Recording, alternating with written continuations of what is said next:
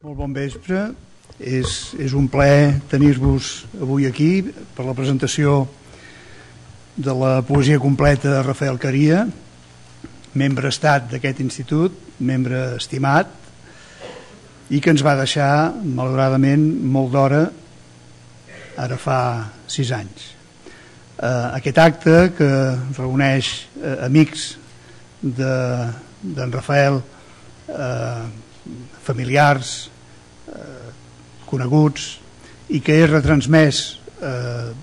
per eh, internet, de manera que eh, es pot veure a tot el món, no sé amb, quin, amb quina demora, però en tot cas eh, es pot seguir. Aprofito també per saludar aquells que ens estaran veient. Jo sé que hi ha algú en concret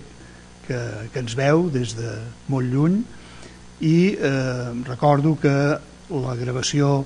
d'aquest acte d'avui mm, formarà part de la biblioteca de l'Institut, de manera que avui en directe i a partir de pocs dies en diferit es podrà seguir l'acte. Eh, M'acompanyen a la taula el, eh, el senyor director de l'Institut de Montllull, Àlex Susana, el president de la secció filològica de l'Institut, el senyor Isidor Marí, i eh, un altre membre de l'Institut, el senyor August Bové, que ha estat el curador de l'obra, que vostès han pogut veure aquí eh, a l'entrada i que centra tot l'acte d'avui. Eh, jo voldria esmentar, ho diran eh, els, els membres de la taula, però voldria esmentar eh, aquesta personalitat eh, intensa i eh, multifacètica d'Encaria, que era un intel·lectual, que era un defensor de la catalanitat de l'Alguer, que era un activista i que era molt estimat aquesta casa, com suposo que era també l'Alguer. Eh, de tot això ens en parlaran eh, els membres de la, de la mesa i dono en primer lloc la paraula al senyor August Bové, que ha estat curador de l'obra. August, quan vulguis. Moltes gràcies, molt bona tarda. Senyor president de l'Institut d'Estudis Catalans, senyor president de la secció filològica, senyor director de l'Institut Ramon Llull, eh, familiars de Rafael Caria, senyores i senyors, ho dic en, el, en, la, en la introducció del llibre i ho he dit altres vegades eh, mm, segurament a, a poques persones com a, com a Rafael Caria es cauen també aquells versos eh, de l'inici de, de Càntic en el temple de, de Salvador Espriu que eh, diuen eh, però hem viscut per salvar-vos els mots per retornar-vos al nom de cada cosa Rafael Caria va néixer a l'Alguer l'any 1941 de molt jove doncs, ja es va eh, introduir en el, en, en el món associatiu eh, interessat per la, per la cultura i la llengua eh, de, la, de la seva ciutat. L'any 1967, per exemple, va, va ingressar al Centre d'Estudis Algaresos, l'entitat catalanista que hi havia aleshores eh, a l'Alguer, en aquell moment presidida pel vell general jubilat Rafael Catardi, una, una, beca, una beca Requesens li va permetre fer el primer sojorn a Barcelona el mes de març de l'any 69, on entrar en contacte amb el catalanisme resistent eh, i de, sota la dictadura franquista d'aquella època, cosa que, doncs, que, que el va eh, influir profundament. Aviat es va apartar del centre d'estudis algaresos, una mica decebut per, per l'excessiva moderació i, i de vegades tendències més aviat eh, folcloritzants i a començaments dels anys 70 amb, amb un grup de, de joves eh, de l'Alguer doncs va crear l'associació Alguer 80. Eh, és l'època en què doncs, eh, al costat de l'activisme cultural doncs, hi comença, va començar a afegir l'acció política. L'any 74 es va presentar a les eleccions municipals algareses com a independent dins la llista del Partit Comunista Italià i fou elegit regidor de manera doncs, que durant una, una legislatura doncs, va poder endegar propostes que no sempre van ser ben vistes o ben acceptades pel que aleshores era, era el més democràtic dels partits comunistes europeus, especialment quan, feien, quan es tractava de temes relatius a l'autodeterminació dels pobles o a les relacions de l'Alguer amb els països catalans. Eh, durant aquells anys també doncs, eh, és l'època en què a l'Alguer s'inicia la, la substitució lingüística, eh, i aquí doncs, un cop més eh, mentre la majoria de parelles de la seva generació eh, en, deixaven de transmetre eh, l'algarès, la llengua catalana als seus fills eh, Rafael Caria i la seva esposa Fili que avui tam també tenim el goig que ens acompanyi doncs, eh, van transmetre aquest tresor que és la llengua eh, als seus fills no? Amb altres companys, eh, també aquests, aquests anys, doncs, van crear la Lliga per l'actuació de, de l'article 6 de la Constitució italiana, l'article que diu que la República ha de protegir les minories lingüístiques, i va crear el Centre de Recerca i Documentació Eduard Toda, que era la plataforma doncs, des, a partir de la qual ell doncs, va fer tota la, la, la seva tasca de, de, de, de, de treball d'investigació. Mentre treballava a l'aeroport es llicencià en dret eh, i eh, és en aquesta època també que amb els companys del, del Centre de, de, documentació, de Recerca i Documentació Eduard Toda doncs, va fer un salt qualitatiu en les reivindicacions, reivindicacions lingüístiques de l'Alguer, per exemple, substituint clandestinament en, italià per altres idèntics però escrits en català, o eh, doncs, eh, és l'època que també amb altres companys funda el partit eh, polític Cerdanya Llibertat. Eh, i potser que du a terme l'acció eh, que, que, que va tenir més de ressò fins i tot a la, a la premsa europea l'any 77 quan doncs, eh, eh, en lloc d'anunciar exclusivament els vols a l'aeroport de l'Alguer en italià i en anglès com es feia, doncs ho va fer també en, en català i en sard. Eh, aquest fet, que ara ja és, habitu ja és habitual, ja tothom ho accepta, totes les companyies aèries, tots els, els aeroports no, no hi posen cap impediment, doncs li va valdre una represàlia per part de la, de la companyia l'Itàlia i va acabar doncs, amb, amb el nostre amic, el nostre poeta, eh, encadenat amb la boca tapada davant de la porta de les sortides de, de l'aeroport de l'Alguer, que ja dic, doncs, és, un, és un fet que, que va, va tenir molt de ressona en aquell moment. Eh,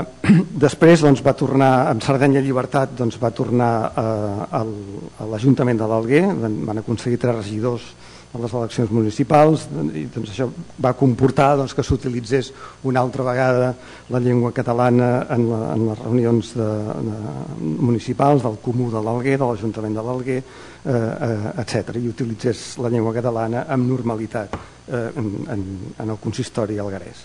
Després d'aquesta nova experiència municipalista, eh, Caria va deixar la, la política activa, però conscient que la llengua i el patrimoni cultural doncs, pertanyen a tota la societat i no únicament a un determinat, a un determinat grup ideològic, doncs va continuar eh, col·laborant amb diferents administracions municipals, eh, generalment tot mantenint-se a l'ombra i evitant qualsevol mena de protagonisme. D'aquesta manera, per exemple, ell va contribuir al fet que l'Alguer es constituís una comissió territorial del segon Congrés Internacional de la Llengua Catalana l'any 86, que va ser presidida per mossèn Joan Peana, i amb ell com a secretari, que l'any 89 s'hi celebressin les, les jornades universitàries, que l'any següent es van repetir a Barcelona, eh, que la veïna Universitat de Sàcer doncs, acabés oferint, com encara fa, eh, com continua fent, estudis catalans i pogués disposar d'un lectorat eh, de català, o que es fes realitat el projecte Palomba, eh, que eh, va dur l'ensenyament de l'algarès a les escoles públiques de, de la ciutat. L'amor apassionat que Rafael Caria sentia per, per la seva ciutat doncs, li va fer combinar estudi i acció des de bon començament i ben segur que no és cap casualitat que es fixés en la figura eh, d'Eduard de, Toda, és la, que és l'home que, que va donar a conèixer l'Alguer a l'època de la Renaixença eh, aquí a Catalunya, i que es fixés, eh, ell que havia estat cònsul eh, a Sardenya, una, una figura que en aquell moment eh, a l'Alguer era potser més ben vista cara, que s'han conegut altres aspectes no tan, eh, no, no, no tan agradables de, de, del, del seu treball com a cònsul, però que, que, perquè comportava no, no només aquest cònsul, eh, els treballs consulars a l'època, doncs, un cert espoli de, de documents que, que, que, que s'havien dut després cap aquí, però doncs, en aquell moment això no, no es coneixia. El que es fixa, sobretot, eh, Caria, és en el llibre que va donar a conèixer l'Alguer a Catalunya, eh? Eh, un poble català d'Itàlia, eh, l'Alguer. Aleshores, Caria el que va fer va ser una traducció a l'italià per tal que als seus conciutadans, que l'italià és la llengua que aprenien a l'escola, doncs els, el, el, el poguessin llegir. La traducció, notes, il·lustracions molt, molt oportunes, molt interessants i sobretot una gran introducció que és com una mena de síntesi eh, d'història eh, algaresa i de manera que aquest llibre que es va titular L'Alguer, un poble català d'Itàlia, que es va publicar l'any 81, doncs si antigament havia servit una mica per descobrir eh, l'Alguer a la gent de Catalunya, eh, també va, va descobrir l'autèntic Alguer a molts algaresos. Eh, en retirar-se de la primera línia política, Caria es va concentrar de manera pràcticament exclusiva en l'estudi i en la recerca, i el seu compromís en defensa de, de la llengua i del patrimoni històric, cultural i paisatgístic de l'Alguer el va dur inexorablement als estudis lingüístics, efectuats de manera autodidacta i amb una gran eh, tenacitat. Aprofitava els seus freqüents viatges als països catalans no solament per fer recerques en les nostres biblioteques i els nostres arxius, sinó també per relacionar-se amb eminents lingüistes catalans com ara eh, Joan Coromines, eh, Jordi Carbonell, tan vinculat a Sardenya i amb qui donia una bona amistat i que a més a més ens fa molt de goig que també ens acompanyi aquesta tarda, Antoni Maria i Margarit, i Margarit eh, Joan Bastardes o Joan Beny, que també tenim el goig que, que sí, pugui ser aquí, els quals doncs, consultava sovint, tot gaudint d'aquesta manera del, del seu mestratge. Com el garès que era, no ens pot sorprendre que se sentís també atret per la sociolingüística, eh? com, com per exemple en la seva contribució al segon Congrés Internacional de la Llengua Catalana, i eh, es va interessar molt sobretot pels, pels estudis de, de, de toponímia no? que identifica, identificaven la llengua i el territori, i així el seu primer estudi, eh, que està dedicat a Jordi Carbonell i que d'un pròleg d'Antoni Maria de Didi Margarit, il mondo del càlic, eh, estudi di, di toponomàstica e lexicografia algarese, es va publicar l'any 90. Aquest, aquest volum doncs, li va, va continuar un altre eh, que es deia eh, Toponomastica algarese, eh, introduzione allo studio dei nobili luoghi eh, della città, del territorio e delle coste di Alghero, l'any 93, és, aquest és un llibre dedicat als seus fills i en, en pròleg de Joan Bastardes, que se centra doncs, en, el, en el terme de l'Alguer. Aquest, ell tenia un, un coneixement extraordinari de, de, de la seva ciutat i del, i del seu territori. No és estrany, per exemple, doncs, que el, el, el Touring Club italià li encarregués eh, la part de,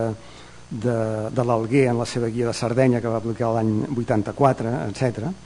i aquest mateix any doncs, va publicar dos, dos volums més, perdó, l'any 90 va publicar eh, dos volums més de toponímia i va eh, engegar un projecte que l'il·lusionava especialment, que va ser eh, la revista de l'Alguer, una, una revista publicada pel Centre de, de Recerca i Documentació Eduard Toda, un anuari científic pluridisciplinari en llengua catalana, pensat i fet a l'Alguer, en el qual vaig tenir l'honor i el goig de col·laborar estretament eh, amb ell des de, des de Barcelona. Una, una revista doncs, que va arribar doncs, a més de 200 biblioteques de, universitàries d'arreu de, del món que va, eh, del qual en van sortir 10 volums eh, entre 1990 i 99 fins que les dificultats econòmiques doncs, no ho van fer viable i que, a més a més, doncs, eh, l'Institut d'Estudis Catalans molt encertadament el va digitalitzar i avui es pot consultar còmodament des de qualsevol lloc del món a través de la Maroteca Científica Catalana en el portal de, de revistes de, de l'Institut d'Estudis Catalans. I, a més a més, eh, l'Institut té el projecte ja molt avançat de llançar una segona etapa de, de la revista de l'Alguer com a revista d'estudis mediterranis. Eh, a la revista Rafael Caria doncs, a vegades hi avançava els resultats de les seves recerques lingüístiques, treballs entre els quals, per exemple, destaca sobretot el que va publicar en, en dues parts el lèxic dels mariners algaresos entre catalanitat i mediterranitat, i, i va donar a conèixer molts altres, no només en aquesta revista, també doncs, eh, el, en, en revistes de, de Catalunya com els Estudis de Llengua i Literatura Catalanes o la revista Llengua i Dret, eh, etc. Jo ara us, us ho resumeixo molt perquè tenim un, un, un espai eh, limitat. I d'altra banda, els seus dos últims estudis que, que va publicar doncs, són eh, Le piante spontanea d'Alguero, nomi, propietat, usi, eh, etimologia de l'any 2001, i Il nome popolare degli uccelli eh, ad de l'any 2006, eh, eh, aquest doncs, eh, dedicat eh, al primer a diversos amics, el segon a la memòria de mossèn Antoni Maria Alcover i en prefaci de Joan Vell. I finalment, eh, dins d'aquest eh, aspecte doncs, de, de l'estudiós, cal esmentar l'assaig eh, en què havia treballat els darrers temps i que desgraciadament doncs, es va convertir en una mena de, de testament intel·lectual la seva aportació més important a la planificació lingüística que assegurés el futur del català a la seva ciutat, que era el català de l'Alguer a punts per a un llibre blanc publicat a la revista de Llengua i Dret l'any 2007. Aquesta activitat eh, erudita o estudiosa de Caria doncs potser van amagar o van fer que no fos tan coneguda la, la seva activitat com a poeta. Com ell mateix va explicar, ell va començar a escriure poesia de jove, ell considerava que això era una mena de, deia textualment, un pecat de joventut, no, no s'havia ocupat mai de, de, de publicar-la, i eh, va ser eh, la compositora valenciana Matilde Salvador, amb qui l'unia una bona amistat, qui el va convèncer de publicar la seva poesia. Va publicar tres llibres de poesia, tots tres a, a Sardenya, que aquí era poc coneguda, eh, que de fet la coneixíem els amics perquè ens, ens havia regalat els llibres, o a més ten, tenia el costum quan venia que en deixava un cert nombre eh, d'exemplars a, a l'antiga llibreria Ona de, de, de la Gran Via, però esclar, és una cosa que arribava a uns pocs coneixers, eh, diríem, no, no, no tenia la difusió que, que, que l'obra es mereixia. Aquesta obra eh, es va iniciar eh, amb el llibre S'ha tornat a Sant Julià, que és un, és un llibre que es va publicar eh, l'any 86. És un llibre que eh, du un pròleg de, de Jordi Carbonell i que és un... Eh, el, el mateix Jordi Carbonell ja en, aquesta, eh, en, eh, en aquest pròleg doncs ja va eh, remarcar que eh, aquí ens trobàvem davant d'un poeta interessant, davant d'un poeta important. Alguns d'aquests eh, de, dels seus poemes eh, van ser musicats per Matilde Salvador, primer, després també d'altres van ser eh, mm, musicats per Manuel García, García Morente, Morante, que també tenim el goig que avui eh, ens acompanyi. Eh, aquest, eh, aquest primer eh, llibre, eh, doncs, eh, s'ha tornat a, a Sant Julià, aquest primer llibre poètic, eh, com diu eh, Jordi Carbonell doncs, eh, en el pròleg, diu el recull de poemes que avui veu la llum no es troba, al meu entendre, dins la línia localista. L'obra de Rafael Caria, tot i ser plenament arrelada a l'Alguer i a Sardenya, fins i tot en el títol, s'ha tornat a Sant Julià, significa la plena incorporació de la poesia algaresa dins els corrents poètics catalans del segle XX amb tots els honors.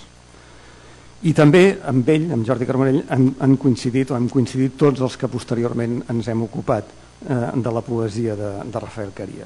Sota la influència de grans poetes catalans de l'època, com ara Pere Quart o Salvador Espriu, el recull s'inicia amb el poema que li, que li dona títol, escrit eh, l'any 1967, que és una vella elegia dedicada a la seva besàvia, Angeleta Núvoli, on el poeta evoca el retorn al Sant Julià de la seva infantesa, i és que aquest és el llibre de, de l'arrelament, un arrelament crític, que, això sí, que transmet la preocupació del nostre autor pels temes socials i ambientals del, del seu país, com es fa palès, per exemple, en el poema titulat Cant de Farmació, d'evidents ressons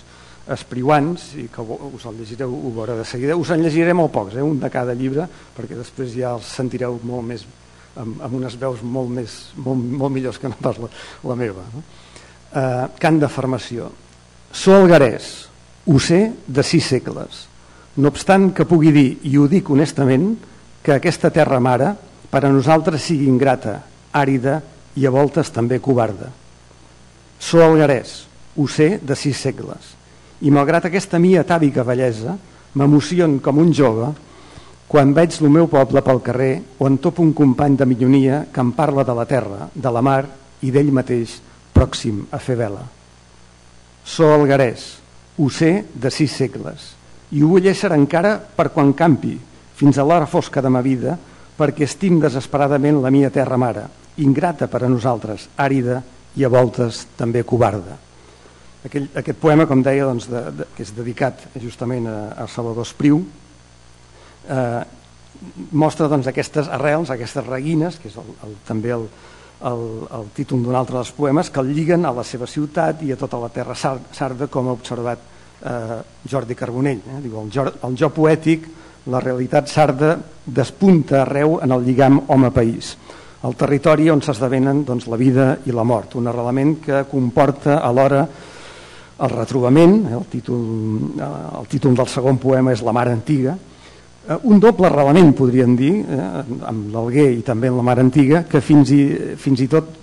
va més enllà dels poemes, es veu reflectit fins i tot en les dedicatòries de molts d'aquests poemes. I sempre amb una mar omnipresent, eh, una mar Eh, que, que com a tots els algaresos eh, veuen cada dia,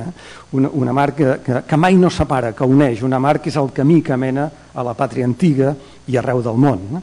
Tot plegat a tra eh, expressat a través d'una intel·ligent tria lingüística que entronca el lèxic dialectal algarès en la llengua comuna i el fa accessible a la totalitat de catalanoparlants. El segon recull, recull poètic de Caria fou Els esfòdels, els esfòdels i altres versos, publicat l'any 42. Aquest, eh, aquest eh, llibre, els, el, és, és, aquest recull, és, eh, podríem dir, la continuació natural del primer llibre, també neix d'aquesta coherència, d'aquest compromís amb el seu poble per part d'un autor que no defalleix en la lluita per donar dignitat literària al seu català de Sardenya, ni en la denúncia contra la injustícia i també contra la mediocritat i el servilisme provincians. Però ara ens trobem amb un poeta eh, més madur, eh, fins i tot lingüísticament, un poeta que ha assumit en plenitud, en plena consciència el pas del temps, i novament, com al llarg de tota la seva obra, amb la serena presència de la mar. Una mar, podríem dir-ne, eh, a la catalana, eh? perquè, com recorda Nèria de Giovanni en, la seva, eh, en el pròleg, en la seva poesia diu home assisteix a un originalíssim, des, des del punt de vista sard,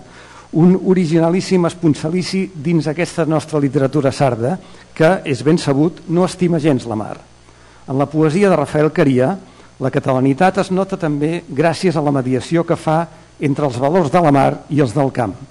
car des de la mar no arriba el mal, sinó la llengua i la linfa de la civilitat catalana, el record dels amics i dels llaços personals. Eh, ho veureu també en, en un altre breu, breu, breu poema que us he triat. Eh, torno a mirar la mar. Torno a mirar la mar cap a Ponent i a seguir els senders de les, els senders de les estrelles sobre el blau salat mediterrani i mirant-te, mar amiga somiu plenilunis transparents de cristall de dalt d'aquesta roca cèntrica del terme dels profuns abismes de les aigües dels clavills de les penyes mil·lenàries de les ombres d'aqueix bosc d'oliveres surt, tendre i abenacent, l'esperit salvatge de ma terra. Llavors, quan el blau esdevé llum d'argent per tot arreu i palpita del silenci l'infinit,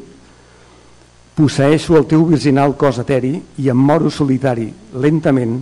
com la lluna al triomf de l'albada. Pètals és el tercer i darrer llibre de poemes de Caria, és un llibre de l'any 1998, eh, és un llibre que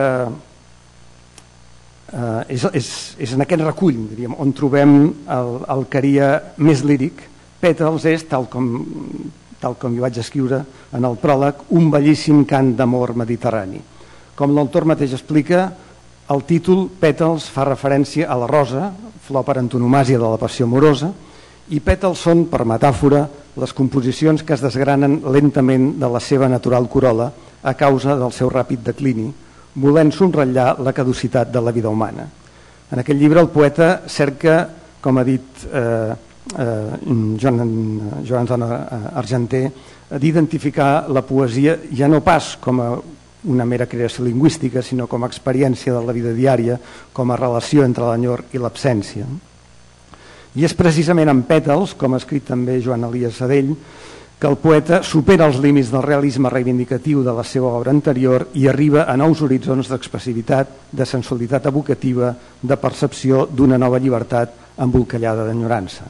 Partint un cop més del seu món algarès, Caria es projecten fora pels camins d'algunes de les millors tradicions poètiques universals i especialment mediterrànies, inclosa la poesia catalana, és clar, del segle XX, com ja he dit, amb referents com Rainer Maria Rilke, els místics perses, Omar Khayyam, Homer, Pierre de Ronsard, eh, Cavafis eh, o eh, doncs, la poesia eh, trobadoresca, per, per exemple.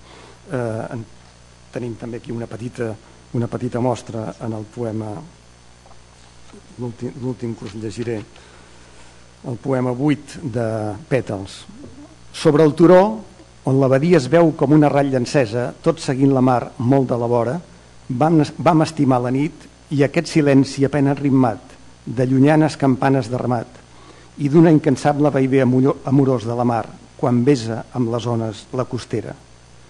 Sobre el turó hem esperat la mort del planiluni, a la fi vas davallar per la sendera blanca, però et va acompanyar, fins que ha pogut, la meva mirada silenciosa. Sobre el turó ha quedat només un fil de vent del teu perfum per recordar-te. És, doncs, aquest esclat líric en aquest tercer eh, llibre de poemes eh, que després podrem sentir eh, eh, en aquest cas recitats per Frank Amaso que també li hem d'agrair que hagi volgut venir expressament des de l'Alguer per, per fer-nos sentir la veu de, de l'amic Rafael Caria. Aquesta eh, extraordinària, ja vaig acabant perquè em sembla que, que estic ja en el límit, aquesta extraordinària activitat en favor de la llengua, la cultura i la història de l'Alguer, que li fou merescudament reconeguda des dels països catalans. L'any 1985, Rafael Caria va obtenir el Premi Jaume I d'actuació cívica, l'any 99 fou condecorat amb la Creu de Sant Jordi, l'any 2006 ingressà com a membre corresponent a la secció filològica de l'Institut d'Estudis Catalans, del qual fou el primer membre algarès. Especialment en els darrers anys Rafael Caria hagué de dur a terme tota aquesta activitat de, de recerca en una mena d'exili anterior enfront de, de les mesquineses i el boicot dels sectors provincians que ell sempre va, va combatre i els quals doncs, eh, eh, això sí, doncs, sempre van fer-li el buit i van eh, doncs, eh, intentar tenir un cert ressò eh, aquí, eh, on sempre hi ha gent mal informada o poc informada que els feien un cas que no els mereixia. Que, doncs bé, Caria va continuar treballant des, de, des del seu estudi eh, amb, amb una intensitat eh, realment sorprenent, sempre sobre aquests temes algresos i ha estat, en aquest sentit ha estat també una excel·lent notícia que l'Ajuntament de l'Alguer fa uns mesos decidís donar el seu nom a un dels parcs de la ciutat. A aquest isolament amb què hagué de treballar aquests, sobretot aquests darrers temps s'hi va afegir la urgència a partir del moment en què eh, la malaltia que patia feia temps doncs, va esdevenir més agressiva i va començar a minar-li les forces abans que se l'endugués prematurament eh, l'any 2008 i a més a més sense haver pogut acabar entre altres coses els seus dos grans projectes la, la, la toponomàstica de la ciutat de l'Alguer i el diccionari etimològic algarès. I considero, i ho dic en, en el prou del llibre i, i, i vull tornar-ho a dir ara, que és una responsabilitat ineludible de les institucions catalanes malgrat les dificultats que, que patim, evidentment, eh, catalanes en general, i no únicament algareses, sardes o italianes, de prendre urgentment mesures eh, pertinents, les mesures pertinents, perquè no es malmeti el gabaral d'informació i de documentació que Rafael Caria va aconseguir reunir que està plegat doncs, en el seu ordinador i que caldria que filòlegs experts doncs, poguessin editar i posar a disposició de les, de, de, dels estudiosos i del públic en general. El llibre, eh, doncs en aquest llibre, gràcies a l'editorial Adesiara, el, el director del qual eh,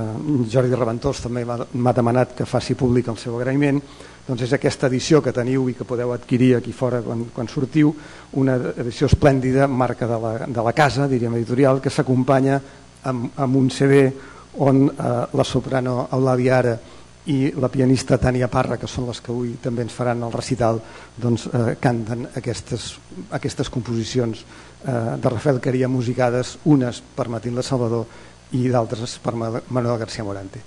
I, I això és tot per part meva. Moltes gràcies.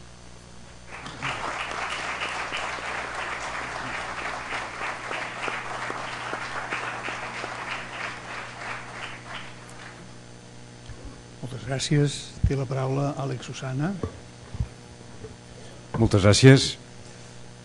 senyor Joan Domènec Ros, president de l'Institut d'Estudis Catalans, senyor Isidor Marí, president de la secció filològica del mateix institut, amic August Bové, amics i amigues, senyors i senyors, és un goig i és un honor poder participar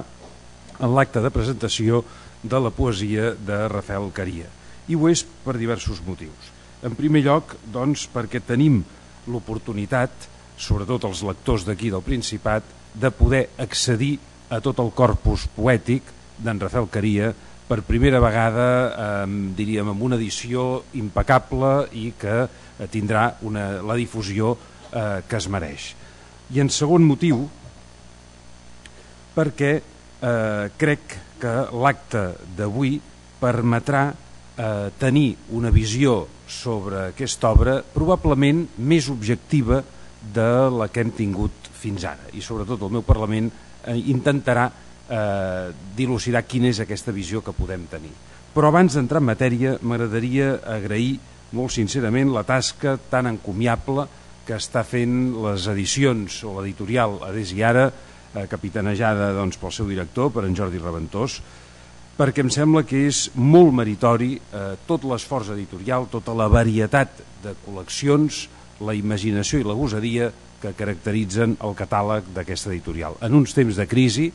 eh, de crisi que evidentment està afectant moltíssim tot el conjunt de les editorials del nostre país, em sembla una excel·lent notícia doncs, que una editorial com aquesta, com a des i ara, dugui a terme la seva tasca gairebé, gairebé com si la crisi no existís.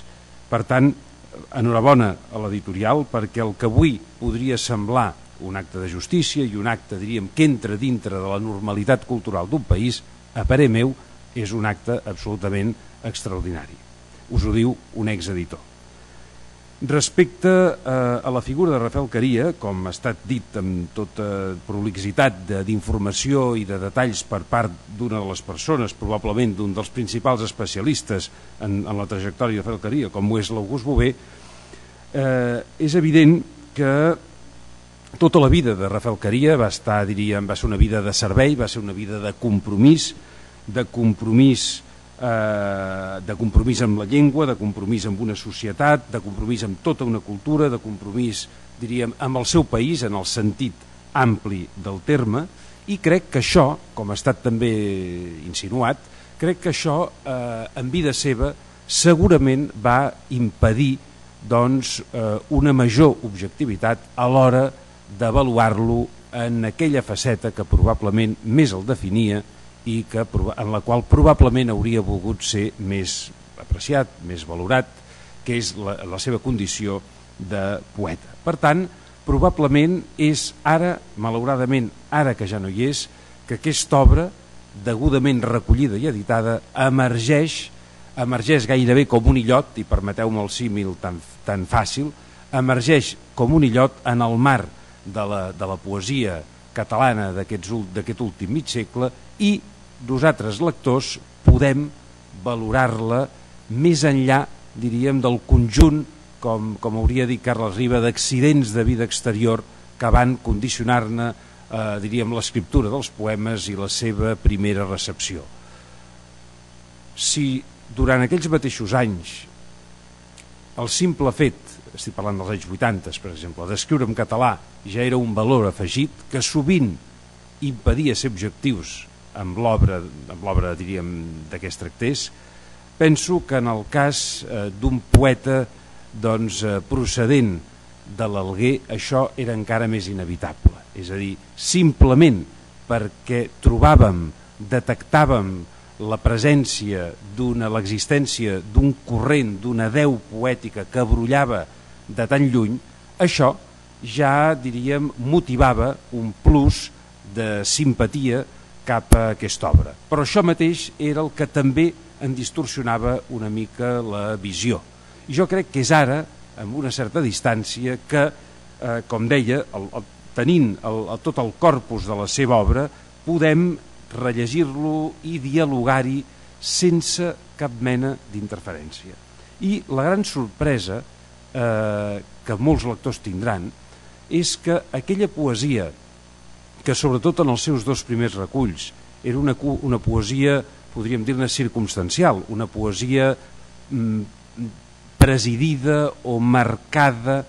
per les coordenades d'un espai i d'un temps molt concret. És una poesia compromesa de circumstàncies en el sentit que els estímuls que la provocaven eren uns estímuls reconeixibles, eren uns estímuls que tenien a veure amb la vida diària, que tenien a veure amb aquell engatjament del qual, del qual s'ha parlat eh, prèviament, tot aquest cúmul de factors històrics que podien semblar en el fons espuris, resulta que conformen una obra que aguanta el pas del temps. I aquesta em sembla que és, podríem dir-ne, la màxima aspiració de qualsevol poeta, vèncer el pas del temps o, si més no, si més no, eh, aguantar el pas del temps, que ja és una forma de, de vèncer. Per tant, eh, aquesta obra que alguns de nosaltres havíem llegit sense prou perspectiva perquè, perquè en el fons eren reculls que el mateix autor eh, et regalava quan anaves a l'Alguer, que te'ls mig llegies a l'hotel quan tornaves, però que se... per a molts de nosaltres en Rafael Caria era això, era un activista per damunt de tot. No? I aquesta producció poètica que ell mateix amagava per pudor, no la posava en un primer terme, resulta que amb el pas del temps és, es fa molt més evident un valor que ja, quan, va sort, quan van aparèixer aquests llibres, ja va ser detectat per bastants, per bastants lectors. En això haig de dir que en Rafael Caria va tenir la sort de comptar des del principi amb excel·lents lectors. Probablement la primera de les quals aquesta extraordinària compositora que va ser qui va jugar un paper capdalt a l'hora d'animar-lo a publicar aquests eh, pecats de joventut. Probablement al propi autor li faltava distància respecte als seus propis poemes i va ser, curiosament, una compositora castellonenca la qui el va realment animar a reprendre aquests pecats de joventut, a perseverar en la pràctica de la poesia fins que eh, l'autor va decidir doncs, a publicar aquests eh, primer, eh, diríem, el primer recull i després els altres dos que el van eh, succeir. Tres reculls poden semblar pocs, però com tothom sap, tothom que ha tingut, diríem, tractes amb la poesia, eh, la poesia només es mesura, diríem, per qualitat. I si un pensa en els poetes que més li agraden, s'adonarà que normalment li agraden per un nombre força reduït de poemes. Per tant, el que ha de fer tot poeta, en el fons és perseguir aquest nombre reduït de poemes pels quals potser algú en el futur el recordarà. Jo crec que això, a dia d'avui, podem dir que passa i passarà amb l'obra que avui eh, presentem. Com que dels llibres eh, se n'ha parlat de manera particularitzada i tenim encara doncs, pendent totes unes altres intervencions musicals i de recitació, m'estaré, i no serà perquè no tingui ganes, de llegir eh, poemes. Però en canvi sí que m'agradaria fer una sèrie de consideracions eh, sobre, la, sobre, aquesta, sobre aquesta obra rellegida al cap del temps. Del primer llibre eh, m'agradaria ressaltar un fet, i és el que, eh, i em permetran la, la, la pedanteria d'utilitzar doncs, un terme grec, mm, jo que no en sé, però és el terme d'anagnòrisi, de reconeixement. Eh, jo crec que és un llibre, és el llibre, aquest primer llibre, que és un llibre eh, dispers, és un llibre de recerca de la pròpia veu poètica, és un llibre fet de pretextos molt diversos, de, amb, amb l'ús, podríem dir-ne, de formes també molt heterogènies, però allò que n'acaba esdevenint el fil conductor és aquest reconeixement que es produeix a, a diversos eh, nivells. És el reconeixement, la, el, ret, el retrobament amb la pròpia llengua com a instrument, podríem dir-ne, eh, poètic, el retrobament amb, la, amb el país, amb la seva pròpia cultura, amb una tradició, quan dic retrobament amb el país és un país lato sensus, un país, eh, diríem que ell, des de la condició d'illenc, descobreix eh, tots els territoris de parla catalana i queda absolutament fascinat de com aquell reducte de catalanitat que era l'Alguer, la Barceloneta, que, que en deien des d'aquí, resulta que té, podríem dir-ne, unes, unes, uns germans i unes germanes i que per tant aquest territori s'amplia amb el mar per entremig. Jo crec que la presa de consciència a través de les seves nombroses relacions, però sobretot doncs, això d'una persona com la Matilde Salvador, totes aquestes, totes aquestes amistats van ajudar a donar-li una visió de la cultura catalana tan àmplia com fos possible, cosa que de vegades gent del Principat no la té. Però em sembla que ell tenia la perspectiva correcta justament des de l'Alguer. Hi ha aquest aïllament, aquest aïllament inevitable, evidentment, que és el que provoca també, m'imagino, la necessitat de connectar-se, d'anar a trobar l'altre, aquest altre que en el fons som tots nosaltres com a, com a lectors. Hi ha també les ganes d'incidir en una societat determinada, una societat que ell no s'estava de criticar i alhora no volia deixar de tenir-hi una incidència. És el compromís del qual parlàvem. En el segon llibre hi ha també, perdó, un ús, un ús molt particular i de la, de la llengua, de la nostra llengua, de la llengua que diríem compartim tots els territoris de parla catalana. Probablement, amb el pas del temps, aquest instrument poètic que ell va anar afinant recull a recull, això va comportar una pèrdua de, de, de diríem, de color eh, dialectal. Jo no em pronuncio, simplement dic que tant, tant m'agrada el Rafael Caria més proper a la seva llengua parlada, a l'oralitat de l'Alguer, com el Rafael Caria de Pètals, que utilitza una llengua molt depurada. Tot això no deixa de reflectir una, un creixement com a, com a poeta i una depuració de l'instrument de, de què es valia. El segon llibre ja és un llibre que eh, és, podríem dir, la continuació del primer i des d'aquest punt de vista són llibres que repleguen un material poètic escrit al llarg de molt de temps, però és un llibre que eh, conté, més enllà d'aquell reconeixement múltiple al qual al·ludia, conté l'assumpció d'un i la conscient eh, no, la creixent consciència de l'assumpció del pas del temps. I això es nota perquè els poemes, de mica en mica, deixen de ser meres interjeccions de sorpresa, de meravellament o de crítica i passen a, a, a dotar-se d'un major gruix. Els poemes passen a ser gairebé com cisternes eh, de temps i en aquest sentit la poesia d'Encaria va agafant de mica en mica perspectiva i gruix. Ara bé, per mi és, és a pètals on l'autor es pot dir que culmina la seva obra. És a pètals on eh, ens trobem davant d'un llibre eh, absolutament unitari, a diferència dels altres, que eren llibres, eh, diríem, partits en diverses seccions, amb tipologies de poemes molt diferents. No, Pètals és un llibre, en el fons és un sol poema, eh, és un sol poema caracteritzat justament per un grau d'inspiració eh, des d'aquest punt de vista bastant, bastant extraordinari i alhora podria ser vist podria ser vist gairebé com un llibre testamentari. Això no sé fins a quin punt és així, tota vegada que és un llibre del 1998 i per tant encara faltaven bastants anys doncs, perquè en Rafael Caria ens, ens deixés. Però llegit des de la nostra perspectiva actual, jo sí que el veig com un llibre síntesi, com un llibre testamentari, en què es produeix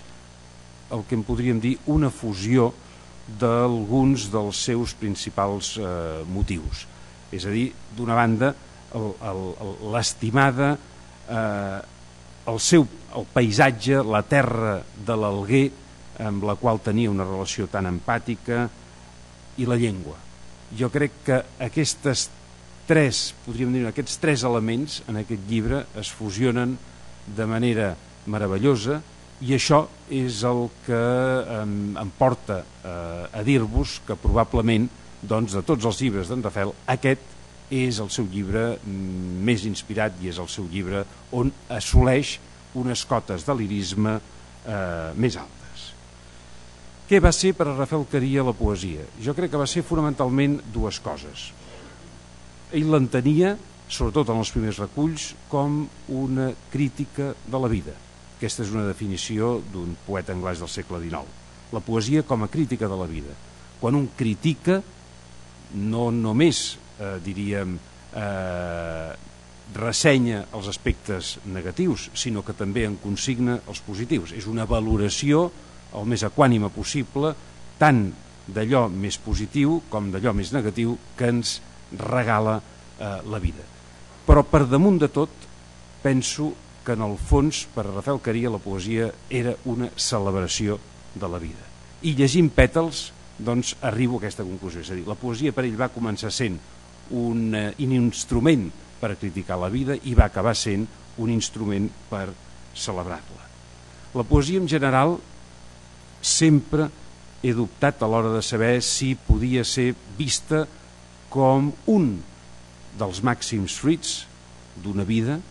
o si al contrari la poesia no deixen de ser les engrunes, les escorrialles d'una vida. Del que no tinc cap mena de dubte és que per a Rafael Caria aquests tres volums en el fons compendien allò que ell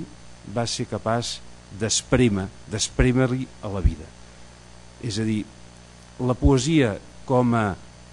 resultat de l'acte d'esprémer la vida com si fos una taronja, com si fos una llimona. Jo em sembla que aquests, aquests tres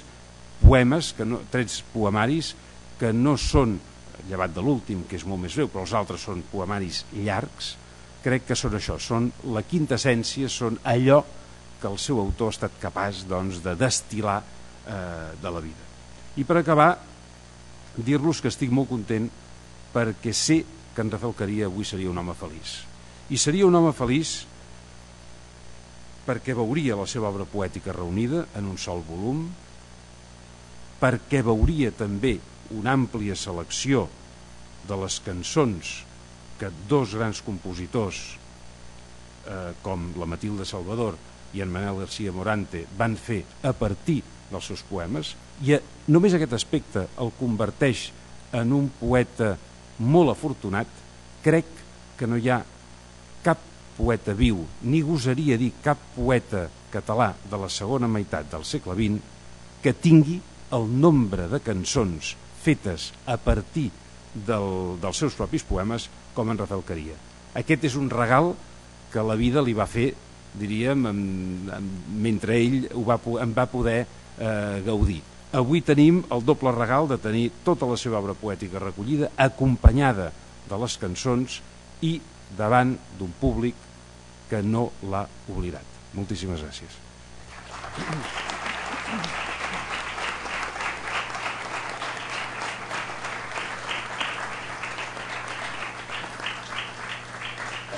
Moltes gràcies. Té la paraula Isidor Marí. Moltes gràcies, senyor president de l'Institut, senyor director de l'Institut Ramon Llull, amic August Bové, familiars de Rafael Caria que ens acompanyeu avui, senyores i senyors, eh, deixeu-me dir en primer lloc que és un goig enorme veure aquesta sala plena eh, en un acte que és molt més que la presentació eh, tan eh, ben presentada del, del llibre de, de la seva poesia completa. És un autèntic homenatge a tota la feina i la persona de Rafael Caria. Eh, S'ha parlat molt i molt bé, no, hi, no repetiré coses que ja s'han dit, de eh, la gran feina intel·lectual que va fer Rafael Caria en camps molt diversos. Eh, tampoc insistiré en la qualitat eh, de la seva poesia que hem sentit i que continuarem sentint acompanyada també en alguns casos de música, eh, però reprendré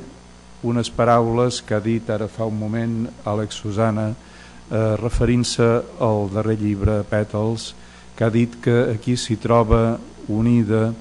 la poesia amb la terra amb la llengua. Jo voldria parlar del que justifica precisament tota la feina i tota la vida de Rafael Caria, que és aquest amor a la seva terra i a la seva gent. la profunda estimació que això representa per la seva llengua, la nostra llengua, i per la plena recuperació de la llengua en la vida social de l'Alguer i per la plena recuperació de les relacions culturals entre l'Alguer i el conjunt de les terres de llengua catalana. I voldria també subratllar, encara que tots els que el vam conèixer ho tenim ben present, eh, però crec que eh, aquí sí que em vull fer reiteratiu, eh, la gran humanitat, la gran afabilitat de tracte que sempre vàrem trobar tots en el Rafael Caria. Jo el vaig conèixer mm, segurament més tard que molts dels presents i no el vaig tractar d'una manera tan assídua com molts dels presents. Vaig tenir ocasió de conèixer-lo quan preparàvem el segon Congrés Internacional de la Llengua Catalana, al qual s'ha fet referència, del qual ell va ser un dels promotors juntament amb mossèn Peana a l'Alguer. Va ser en aquesta ocasió que el vaig conèixer i eh, ja en aquell moment eh, em va eh, resultar especialment emotiva la relació amb en Rafael Caria. Eh, ho sabeu bé els qui el vau conèixer, era una persona eh, que era, era, eh, transmetia un, un sentiment eh, molt transparent i molt fort. No? Eh, en aquell moment, mm, precisament, ja s'ha comentat, era quan ell estava preparant la publicació del seu primer llibre de, de poesia, s'ha tornat a Sant Julià. Eh, efectivament, ell no donava una presència de primer terme quan parlaves amb ell a la seva activitat poètica que avui centra aquest acte però eh, sí que hem vist tots com això agafava relleu a mesura que també teníem una visió, una perspectiva més global de tota la seva feina. Eh, L'he tractat en altres ocasions posteriors, amb visites a l'Alguer, amb visites seues a Catalunya i sempre, sempre, eh, tant amb ell com amb la seva esposa, que avui ens acompanya, amb la Fili, he constatat que hi havia eh, aquest vincle d'estimació profunda que és el que ho justificava tot. I eh, crec que valia la pena dir-ho. Parlaré una mica més de temes lingüístics, però em sembla que aquesta dimensió humana eh, és també una part important de, del, del que ens ha agrupat avui tanta gent aquí. Eh? Eh, en Rafael Caria, a causa de tots els treballs lingüístics que havia fet i que ha esmentat August Bové, eh, va ser molt lògicament i molt immediatament eh, acollit com a membre corresponent de la secció filològica el 28 de febrer del 2006 i ho va ser fins a la seva desaparició el 9 d'abril del 2008 i puc dir en les darreres ocasions el que em van veure que eh, malgrat la seva salut precària va conservar sempre l'entusiasme i la cordialitat per la llengua i per la recuperació de la llengua. Per això voldria fer una mica de referència amb alguna citació concreta al treball, el darrer treball que ha esmentat també August Bové, que ell va fer una mica per deixar constància de l'expectativa que eh, ell tenia de recuperació de la llengua a l'Alguer aquest article publicat a la revista de Llengua i Dret que eh, va titular El català de l'Alguer a punts per a un llibre blanc. En aquest eh, treball, que mereix una lectura més extensa, si, si no l'heu feta, eh, el darrer apartat eh, el titula Perspectives de futur i conclusions des d'una imprescindible unitat d'intents a una planificació social de la llengua. És eh, tota una invocació eh, a la feina per la llengua. I eh, hi ha algunes frases que crec que val la pena eh, repetir i recordar perquè tenen encara una mm, plena actualitat i eh, coneixent alguns com coneixem les expectatives positives que ara s'estan obrint de nou a l'Alguer, crec que és bo que les recordem. Deia, per exemple, que el futur de l'Algarès depèn del compromís, és a dir, de la capacitat entre persones que tenen responsabilitats públiques de dialogar i de buscar sempre una tercera via, la compartida per tothom. Perquè deia ell en aquell moment, i podem dir també ara, que avui es presenten noves i irrepetibles oportunitats. Això, com diu ell,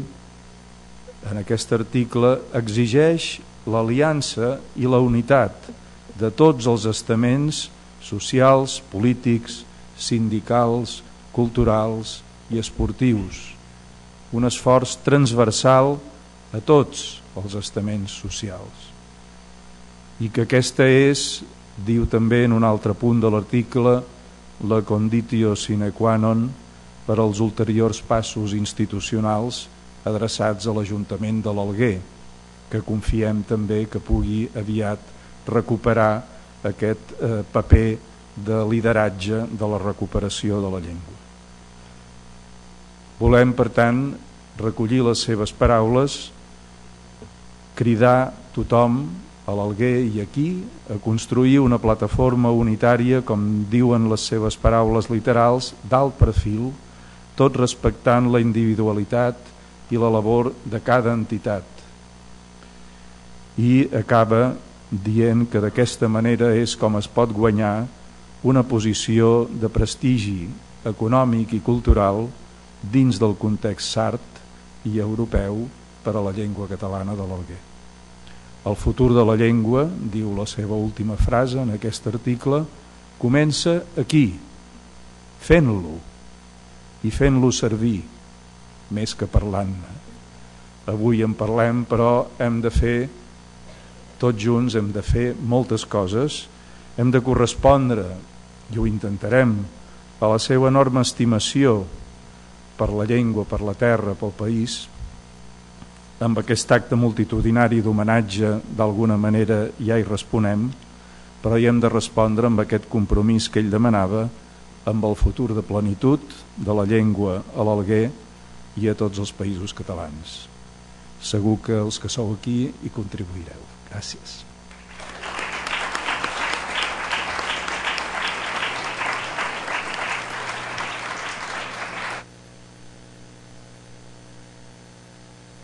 Gràcies. Hem sentit alguns dels poemes de Rafael Caria, eh, ara els sentirem eh, encara uns altres. Hi ha el recital de cançons a coro soprano Lali Ara i la pianista Tània Parra dels esfòdels musicats per Matilde Salvador que els convido eh, a que surtin i intervinguin.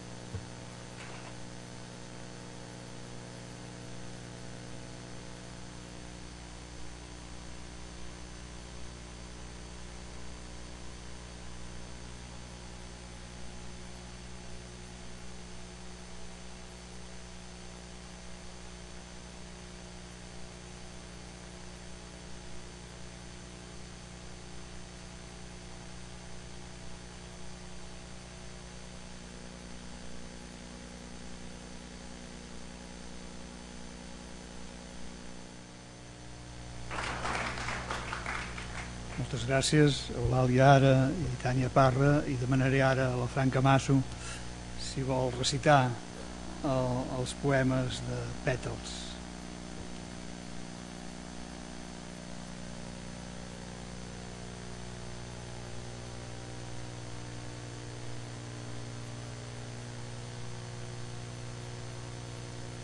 Naveguem sobre una mar sorollosa i inquieta més que mai. L'olor del vent es mescla amb el pror de les àrties tenses i amb el crit de les gaurres que gemeguen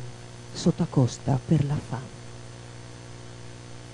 Davant el misteri d'aquestes veus pelàgiques domina el silenci entre nosaltres, navegants, amants alhora,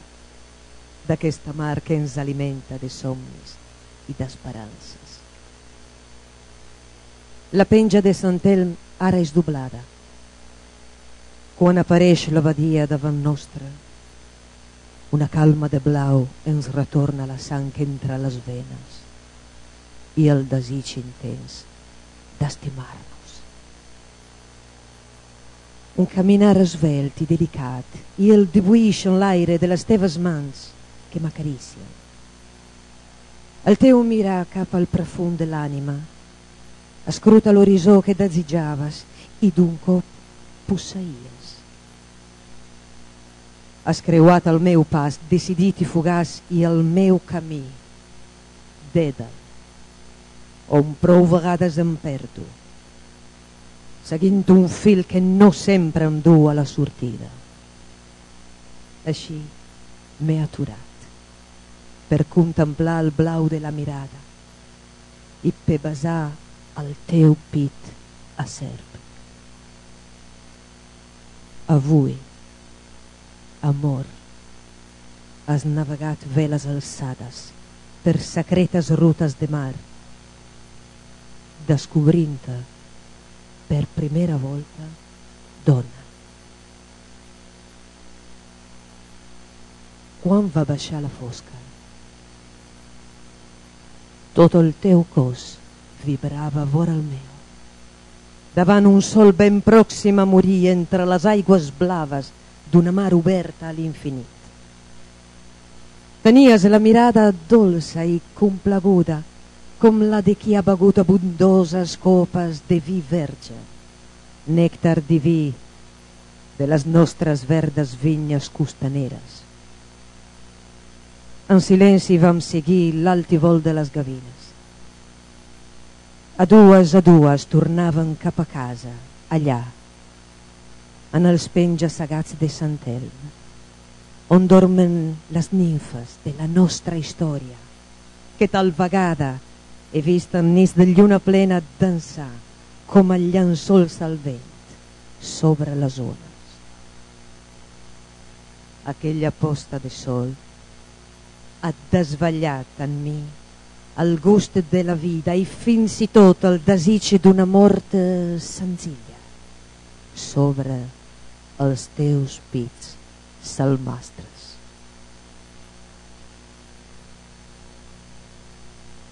Eres tu, la sirena que cantava sobre les ones blanques de sal pura. El teu cos arquejat s'oferia al vent com a l'ombra d'una vela issada. Somio ta cara al bel mig de la nit. La teva veu és com un sender invisible que m'orienta no perdré el nord dels teus ulls. Avui els núvols s'han transformat en veles i tu hi ets amb totes, amb diferents detalls del teu cos sinuós i dolç, com són les zones de la mar en temps de bonança. Camina la nit i fins a l'aurora, però més tard Vindrà pels camins del cel la llum del sol a ta platja blanca. A la fi mira la solitud del mar. Veuràs sobre les ones missatger un pètal de rosa. M'estimo més la nit dels teus ulls, a la nit sense lluna de ma casa. Cap lloc ha estat tan solitari com ma cambra ara. Demà obriré a l'estiu calentes les finestres. El teu secret és compartir amb mi l'alba que puja de bona hora, les aigües corrents d'una font montana, la nit amoixadora del teu braç. El meu secret és d'arribar a la fi del teu sender la meva mort ja vindrà amb la posta de la lluna. M'angoixa el teu silenci. Entre aquestes parets, amb finestres petites sobre la mar, amb els ulls tancats et veig davant meu pàl·lida i vibrant com una fulla sota la pluja calma i silent. Quan obriré els ulls tu seràs fragment d'un record emblanquit com jo, per la pols del temps.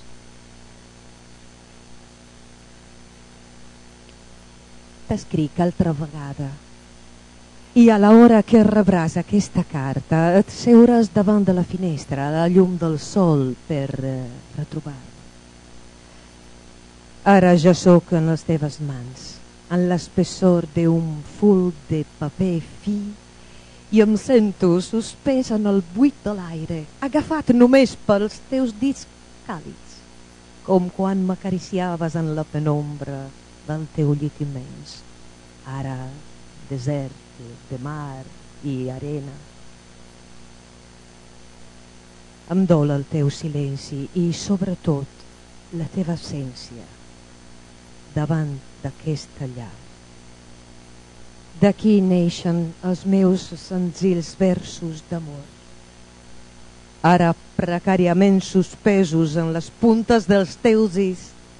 tendres com les fulles d'aquestes com les fulles d'aquesta vella alzina que dona ventalls d'ombra callada al meu jardí. Com faig a dir-te que les hores mai s'adaturen i que d'una alba a una posta de sol i és un temps infinit que val tota una vida. Com puc acceptar que tu i jo tornem a ser silenci i calma de mar. Si el sol ens somriu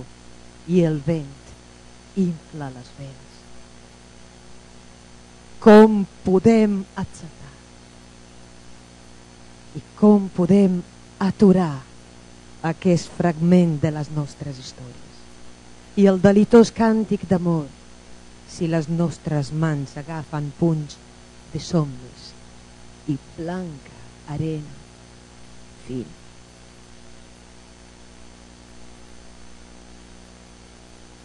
Quan pujaràs sobre el pont del vaixell, em buscaràs amb la mirada. Entre les cares que esperen el llent allunyar-se de la meva antiga i perfumada terra quan pujarà sobre el pont del vaixell i del seu ventre sortirà un xulet agut i irreversible un onejar de mans s'atacarà cap al cel i on buscaràs entre la gent inútilment. Jo sóc la gavina que et passarà a la vora i es seguirà silenciosa fins al retorn. Llavors, la terra que has deixat eixirà de l'horitzó blau amb un somrís i jo seré al polt per esperar.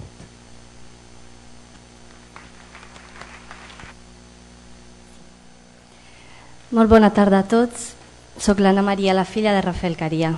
Molt contents avui, la meva mare, el meu germà i jo, de trobar-nos aquí amb vosaltres per recordar el nostre pare i marit. També estem contents de recordar la nostra querida àvia, Matilde Salvador. Sí, perquè per nosaltres la Matilde és estar de veritat una segona àvia. Tenia també la mateixa edat de la nostra vera àvia i s'eren fetes amigues i xerraven tant juntes. El nostre pare i la Matilde han compartit del dia que se són coneixuts per casualitat, un fatídic 11 de setembre, moltes coses ideals que els han unit de manera molt forta i els dos ens han deixat mm, a, poc, a pocs mesos de distància l'un de l'altre. Sense la Matilde, crec que el meu pare no fora mai publicat algun versa de la seva poesia, que sol la meva mare coneixia. Els seus versos, però, han fet enamorar la Matilde, no em vulgui la meva mare, que ha treballat molt per convèncer-lo i així som aquí. Foren molt contents els dos d'aquesta talda junts mm, amb nosaltres i us reengraciaríem de cor per recordar-los amb tanta afectuositat i professionalitat. Un nostre agraïment particular va al professor August Bové, que com la Matilde a la nostra casa de l'Alguer ha vist els nostres primers passos de nens. I ha volgut, amb tenacitat, gran professionalitat i afecte, eh, verso el meu pare i nosaltres aquesta obra. Agraïments sincers al president de l'Institut d'Estudis Catalans, Joan Domènec Ros, al president de la sessió filològica de l'Institut d'Estudis Catalans, Isidor Marí, amic també de la meva família, al president de l'Institut de Ramon Llull, Àlex Susana, a les editorials Adesaire i Fasolcat, a la molt estimada amiga de l'Alguer cantant Franca Maso, a la soprano Eulàlia Ara i a la pianista Tània Parra. I en fi, no podrien no reengraciar els nostres amics de Barcelona i entorns i, i els de l'Alguer, que sense pensar-ho molt han pres un avió o un cotxe per, per estar aquí al costat a nosaltres aquest dia. Si he oblidat alguna persona per engraciar, espero que em podeu perdonar. Gràcies encara a tots de tot cor, eh, de part de la meva mare, del meu germà i de la meva tia Rosalba, que és la germana del meu pare, que avui no, no, no ha pogut estar aquí. Però és com si, si, si fos. Esperem de viure un altre moment així aviat. I moltes gràcies a tots. Gràcies.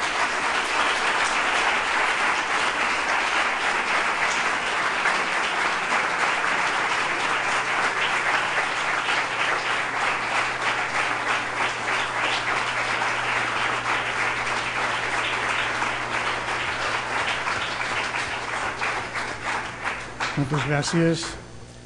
Eh, bé, eh, és hora de cloure l'acte, que ha estat especialment emotiu. Jo crec que Rafael s'ho mereixia, la seva obra, que avui tenim en aquesta publicació també. A mi, més especialment proper, parla molt del mar, del mar de l'Alguer, de, del mar que ens uneix, més que no pas ens separa. I m'agradaria aprofitar l'ocasió per esmentar dues coses que des de l'Institut estem intentant fer, algunes de fa anys, i que esperem que acabin quallant. Per un cantó estem perfilant, encara l'època potser no ajuda massa, a obrir eh, un espai, una antena, una seu, ja veurem com acaba quallant això a l'Alguer, un, espai de l'Institut on eh, l'accés a les publicacions eh, online o amb presència física dels llibres o revistes de l'Institut sigui possible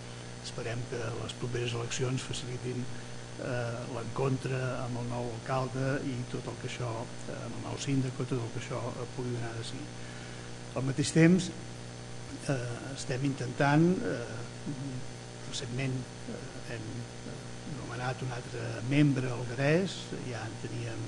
un, a més de Rafael, esperem que la cosa augmenti, que pugui haver-hi més membres de les diferents seccions eh, d'origen algarès i eh, s'ha esmentat ja la revista de l'Alguer amb una nova etapa que serà diferent, serà online, com en línia, com ha de ser, i serà per tota la Mediterrània. Eh, I potser encara altres coses, per exemple, eh, seccions de l'Institut, filials de l'Institut, quan poden, i l'època no és massa propícia, però ho fan, van a l'Alguer a celebrar a les seves reunions o escoltar el que els hi han de dir eh, diferents experts en àmbits diversos algaresos i això esperem que pugui continuar. De manera que eh, els lligams de l'Alguer amb Catalunya i amb l'Institut i de l'Institut amb l'Alguer eh, puguin continuar i siguin cada vegada més ferms.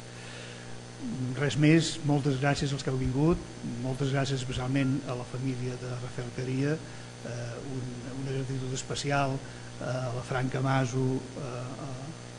a, la cantant i a la pianista que ens han, ens han emocionat,